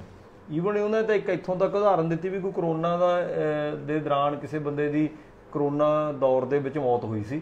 ਤੇ ਉਹਦੇ ਲਈ ਕੈਪਟਨ ਅਮਰਿੰਦਰ ਸਿੰਘ ਦੀ ਸਰਕਾਰ ਹੈ ਜਿਹੜੀ ਉਹਨਾਂ ਨੇ ਬਕਾਇਦਾ ਉਹਨਾਂ ਨੂੰ ਮਤਲਬ ਰਿਟਰਨ ਦੇ ਵਿੱਚ ਦੋਸ਼ੀ ਮੰਨਿਆ ਸੀ ਵੀ ਉਹਨਾਂ ਨੇ ਉਹ ਦੋਸ਼ੀ ਨੇ ਵੀ ਬੰਦੇ ਦੀ ਜਾਨ ਚਲੀ ਗਈ ਪਰ ਉਹ ਕਰੋਨਾ ਪੋਜ਼ਿਟਿਵ ਹੈ ਨਹੀਂ ਸੀ। ਠੀਕ ਹੈ ਜੀ। ਠੀਕ ਹੈ? ਤੇ ਇਸੇ ਤਰ੍ਹਾਂ ਉਹਨਾਂ ਨੇ ਇੱਕ ਹੋਰ ਉਧਰਲੇ ਜਿਹੜਾ ਹਲਕੇ ਦਾ ਵਿਧਾਇਕ ਹੈ ਫਰੀਦਕੋਟ ਇਲਾਕੇ ਵੱਲ ਦਾ ਹੀ ਠੀਕ ਹੈ ਜੀ। ਉਹਨਾਂ ਦਾ ਉਹਨਾਂ ਨੇ ਗੁਰੂ ਮਿੰਟੂ ਨੇ ਜਿਹੜਾ ਜ਼ਿਕਰ ਕੀਤਾ ਉਹਦੇ ਚ ਵੀ ਉਹਨਾਂ ਨੇ ਕਾਫੀ ਡਿਟੇਲ ਦਿੱਤੀ। ਮਤਲਬ ਕਾਫੀ ਉਹਨਾਂ ਦਾ ਜਿਹੜਾ ਉਹਨਾਂ ਦੇ ਵਿਵਹਾਰ ਬਾਰੇ ਦੱਸਿਆ ਗਿਆ। ਜਿਹੜੇ ਨਾਲ ਲੋਕ ਵਿਰੋਧ ਕਰਦੇ ਨੇ ਜਾਂ ਲੋਕਾਂ ਨੇ ਇਹ ਗੱਲ ਨੂੰ ਬੁਰਾ ਮੰਨਿਆ ਉਹ ਇਸ ਕਰਕੇ ਵੀ ਉਹ ਅਹੁਦੇ ਦੀ ਲੱਗਿਆ ਵੀ ਵਾਈਸ ਚਾਂਸਲਰ ਹੈ ਜਿਹੜਾ ਵੀ ਉਹ ਲੋਕਾਂ ਨੂੰ ਡਾਕਟਰ ਰਾਜ ਬਹਾਦਰ ਨਾਲ ਹਮਦਰਦੀ ਨਹੀਂ ਠੀਕ ਹੈ ਜੀ ਬਿਲਕੁਲ ਉਹ ਐ ਵੀ ਅਹੁਦੇ ਦੀ ਗਰਮਾ ਜਿਹੜੀ ਉਹ ਬਰਕਰਾਰ ਰਹਿਣੀ ਚਾਹੀਦੀ ਸੀ ਜੀ। ਵੀ ਵਾਈਸ ਚਾਂਸਲਰ ਜਿਹੜਾ ਸਨਮਾਨਜਨਕ ਅਹੁਦਾ ਜੀ। ਤੇ ਮੈਨੂੰ ਇੱਕ ਤਾਂ ਮਤਲਬ ਇਹੋ ਜਿਹੇ ਹੈਲਥ ਵਿਭਾਗ ਦੇ ਅਧਿਕਾਰੀ ਸੀ ਉਹਨਾਂ ਨੇ ਇਹ ਕਿਹਾ ਵੀ ਵਾਈਸ ਚਾਂਸਲਰ ਦਾ ਸਿਹਤ ਮੰਤਰੀ ਦੇ ਦੌਰੇ ਸਮੇਂ ਜਾਣਾ ਵੀ ਕੋਈ ਜ਼ਰੂਰੀ ਨਹੀਂ ਸੀ ਠੀਕ ਹੈ ਜੀ ਵੀ ਅਸਲ ਦੇ ਵਿੱਚ ਕਹਿੰਦੇ ਉਹ ਚਮਚਾਗਿਰੀ ਦੇ ਸ਼ੌਕੀਨ ਰਹੇ ਨੇ ਉਹਨਾਂ ਦਾ ਕਾਰਜਕਾਲ ਖਤਮ ਹੋ ਰਿਹਾ ਨਵਾਂ ਕਾਰਜਕਾਲ ਹੈ ਜਿਹੜਾ। ਉਹ ਲੈਣ ਦੇ ਫਰਾਗ ਜਿਵੇਂ ਕਹਿੰਦੇ ਈਦ ਮਨਾਉਣ ਗਏ ਸੀ ਰੋਜੇ ਗੱਲ ਪੈ ਗਏ ਠੀਕ ਹੈ ਜੀ। ਜਿਹਨੇ ਗਏ ਤਾਂ ਉਹ ਐਂ ਸੀ ਆਪਦੇ ਇੱਕ ਤਰ੍ਹਾਂ ਅਹੁਦੇ ਦੀ ਗਰਮਾ ਉਹੀ ਉਹਨਾਂ ਦੀ ਸ਼ਕਤੀ। ਠੀਕ ਹੈ ਜੀ ਠੀਕ ਜਿਵੇਂ ਕਹਿੰਦੇ ਮਰਦ ਮਕਾਮੀ ਘੋੜੇ ਥਾਮੀ ਦੂਣਾ ਮੁੱਲ ਵਟਾਉਂਦੇ। ਠੀਕ ਹੈ ਜੀ। ਵੀ ਕੀਮਤ ਘਟ ਕੇ ਅੱਧੀ ਰਹਿ ਜੇ ਜਦੋਂ ਵਿਕਣ ਲਈ ਜਾਂਦੇ। ਜੇ ਬੰਦਾ ਤੁਸੀਂ ਅਹੁਦੇ ਦੀ ਆਪਦੇ ਦੀ ਗਰਮਾ ਆਪ ਨਹੀਂ ਬਹਾਲ ਰੱਖ ਸਕਦੇ। ਹਾਂਜੀ ਹਾਂ। ਤੇ ਫਿਰ ਦੂਜਾ ਤੁਹਾਡੇ ਉਹਦੇ ਦੀ ਕੀ ਤੁਹਾਡੀ ਕਦਰ ਕਿਹਨੇ ਕੀ ਕਰਨੀ? ਬਿਲਕੁਲ ਬਿਲਕੁਲ। ਜਿਹੜੀ ਉਹ ਕਹਿੰਦੇ ਉਹਨਾਂ ਦਾ ਜਿਹੜਾ ਅਧਿਕਾਰੀ ਸੀ ਉਹਨਾਂ ਦੇ ਨਾਲ ਦੇ ਜਿਹੜੇ ਹੋਰ ਉਹਨਾਂ ਦੇ ਅਧੀਨ ਕੰਮ ਕਰਦੇ ਸੀ ਉਹਨਾਂ ਦਾ ਵੀ ਉਹਨਾਂ ਦਾ ਕੋਈ ਰਵੱਈਆ ਬਹੁਤਾ ਚੰਗਾ ਨਹੀਂ ਸੀ। ਅਖੜ ਸੁਭਾਅ ਦੇ ਨੇ। ਅੱਖੜ ਸੁਭਾਅ ਦੇ ਸੀ ਤੇ ਠੀਕ ਹੈ ਡਾਕਟਰ ਮਤਲਬ ਚੰਗੇ ਹੋ ਸਕਦੇ ਨੇ ਤਜਰਬੇਕਾਰ ਵੀ ਹੋ ਸਕਦੇ ਨੇ ਪਰ ਜੇ ਲੋਕਾਂ ਨੂੰ ਉਹਨਾਂ ਦੇ ਉਹੀ ਗੱਲ ਇਮਾਨਦਾਰੀ ਵਾਲੀ ਹੈ ਵੀ ਜੇ ਉਹਨਾਂ ਦੇ ਯਤਨਾਂ ਦਾ ਉਹਨਾਂ ਦੀ ਕਾਬਲੀਅਤ ਦਾ ਫਾਇਦਾ ਲੋਕਾਂ ਤੱਕ ਨਹੀਂ ਜਾ ਰਿਹਾ ਉਹਨਾਂ ਨੇ ਤਾਂ ਇੱਥੋਂ ਤੱਕ ਕਹਿਤਾ ਮਿੰਟੂ ਗੁਰੂਸਰੀਆ ਨੇ ਵੀ ਜਿਹੜੇ ਲੋਕ ਵਿਰੋਧ ਕਰਦੇ ਨੇ ਕਿਰਪਾ ਕਰਕੇ ਫਰੀਦਕੋਟ ਇਲਾਕੇ ਦਾ ਦੌਰਾ ਕਰਕੇ ਚਲੇ ਜਾਣ। ਠੀਕ ਹੈ ਜੀ। ਕਹਿੰਦੇ ਵੀ ਲੋਕ ਉੱਥੇ ਜਾਂਦੇ ਤਾਂ ਹੈ ਪਹਿਲਾਂ ਕਹਿੰਦੇ ਇੱਕ ਸਮਾਂ ਹੈ ਜਦ ਵੀ ਅਗਲਾ ਵੱਡੇ ਹਸਪਤਾਲ ਤਾਂ ਜਾਂਦਾ ਵੀ ਉੱਥੋਂ ਮਰੀਜ਼ ਠੀਕ ਹੋ ਕੇ ਆਊ। ਠੀਕ ਹੈ ਜੀ। ਉਹ ਕਹਿੰਦੇ ਹੁਣ ਤਾਂ ਧਾਰਨਾ ਇਹ ਬਣ ਗਈ ਲੋਕਾਂ 'ਚ ਵੀ ਯਾਰ ਜੇ ਉੱਥੇ ਚਲੇ ਗਏ ਬਸ ਪੈ ਗਏ ਉੱਥੇ ਹੋ ਕਿਤੇ। ਸਕਦਾ ਵਾਪਸ ਆਈਏ ਹੀ ਨਾ। ਠੀਕ ਹੈ ਜੀ। ਅ, ਦੋਸਤੋ ਅੱਜ ਸਵੇਰੇ ਹੀ ਗਾਂਧੀ ਆਰੀਆ ਸਕੂਲ ਦੇ ਹੈੱਡਮਾਸਟਰ ਰਾਜਮਿੰਦਰ ਜੀ ਦਾ ਟੂਡੇ ਨਿਊਜ਼ ਤੇ ਫੋਨ ਆਇਆ ਤੇ ਕਹਿੰਦੇ ਜਿਹੜੇ ਅਸੀਂ ਥੈਲੇ ਬਣਾਏ ਹੋਏ ਆ ਮੰਨ ਲਓ ਕੱਪੜੇ ਦੇ ਬਣੇ ਹੋਏ ਕਿਉਂਕਿ ਪਿਛਲੇ ਦਿਨਾਂ ਦੇ ਦੌਰਾਨ ਜਿਹੜੀ ਸਰਕਾਰ ਹੈ ਉਹਨੇ ਸਿੰਗਲ ਯੂਜ਼ ਪੋਲੀਥੀਨ ਦੇ ਉੱਪਰ ਰੋਕ ਲਗਾਤੀ ਸੀ ਤੇ ਬਹੁਤ ਸਾਰੀਆਂ ਚੀਜ਼ਾਂ ਤਾਂ ਹੀ ਮਾਰਕੀਟ ਦੇ ਵਿੱਚ ਉਹਦਾ ਬੈਨ ਹੈ, ਸਹੀ ਢੰਗ ਦੇ ਨਾਲ ਹੋ ਸਕਦਾ ਜੇ ਸਾਡਾ, ਸਾਡੇ ਕੋਲੇ ਉਹਦਾ ਕੋਈ ਬਦਲ ਹੋਵੇ, ਤਾਂ ਗਾਂਧੀ ਏਰੀਆ ਸਕੂਲ ਦੇ ਜਿਹੜੇ ਸਿੱਖਿਆਰਥੀ ਲੜਕੀਆਂ ਨੇ, ਉਹਨਾਂ ਨੇ ਕੱਪੜੇ ਦੇ ਬੈਗ ਬਣਾਏ ਸੀ ਤੇ ਅੱਜ ਉਹਨਾਂ ਨੇ ਇਨੈਗੂਰੇਸ਼ਨ ਕਰਨੀ ਸੀ ਇਸ ਕੰਮ ਦੀ ਲੋਕਾਂ ਨੂੰ ਮੁਫਤ ਦੇ ਵਿੱਚ ਥੈਲੇ ਵੰਡਣ ਦੀ। ਅਸੀਂ ਉਹ ਪ੍ਰੋਗਰਾਮ ਅਟੈਂਡ ਤਾਂ ਨਹੀਂ ਕਰ ਸਕੇ, ਪਰ ਅਸੀਂ ਗਾਂਧੀ ਆਰੀਆ ਹਾਈ ਸਕੂਲ ਵੱਲੋਂ ਕੀਤੀ ਇਸ ਪਹਿਲ ਦੀ ਸਰਾਹਨਾ ਕਰਦੇ ਹਾਂ ਇਸ ਖੂਬਸੂਰਤ ਸੰਦੇਸ਼ ਦੇ ਨਾਲ ਤੁਹਾਡੇ ਤੋਂ ਵਿਦਾ ਲਈ।